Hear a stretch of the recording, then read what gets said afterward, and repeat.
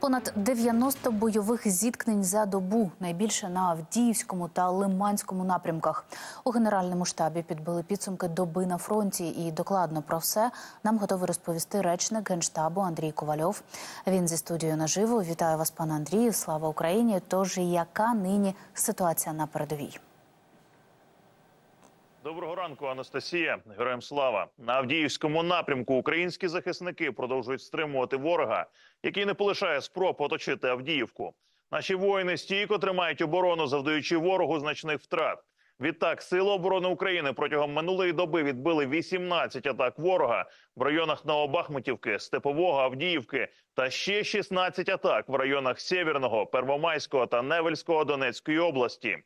На Мар'їнському напрямку підрозділи Сил оборони України продовжують стримувати ворога в районах Красногорівки, Георгіївки, Побєди та Новомихайлівки Донецької області, де наші захисники відбили 12 атак. На запорізькому напрямку Сили оборони України відбили три атаки противника в районах західніше Вербового та Роботиного Запорізької області. На Херсонському напрямку українські воїни надалі продовжують заходи із розширення плацдарму на прав... на лівому березі річки Дніпро у Херсонській області. Попри значні втрати, російські окупанти не полишають спроб вибити наші підрозділи із займаних позицій. Протягом минулої доби противник здійснив один безуспішний штурм позицій наших військ. Водночас наші воїни продовжують активними діями завдавати окупаційним військам втрат уже війські та техніці, виснажують ворога вздовж всієї лінії фронту. На Куп'янському напрямку українські захисники відбили дві атаки ворога в районі Синьківки Харківської області.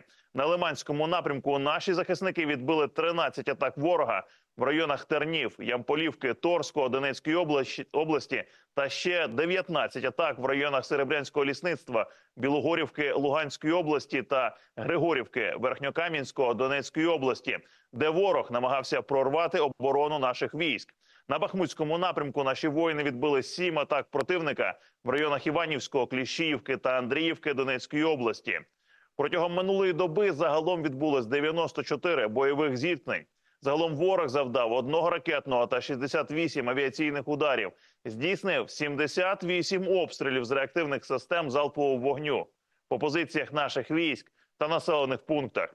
Внаслідок російських терористичних атак, на жаль, є загиблі та поранені серед цивільного населення. Руйнувань та пошкоджень зазнали житлові приватні та багатоквартирні будинки, а також інша цивільна інфраструктура. Анастасія.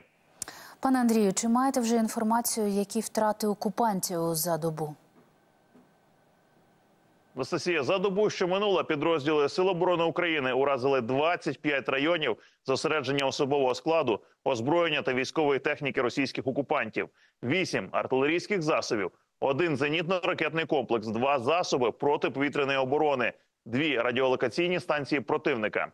Орієнтовні втрати ворога минулої доби загалом склали 1110 російських окупантів, 24 танки, 36 бойових броньованих машин, 30 артилерійських систем, 3 реактивні системи залпового вогню, 3 засоби протиповітряної оборони, 2 літаки, 12 безпілотників оперативно-тактичного рівня, одна крилата ракета, 33 автомобілі та 9 одиниць спеціальної техніки. Вірте у Збройні Сили України. Ми переможемо. Слава Україні! Дякую вам за докладну інформацію. Це був Андрій Ковальов, речник Генерального штабу Збройних сил України.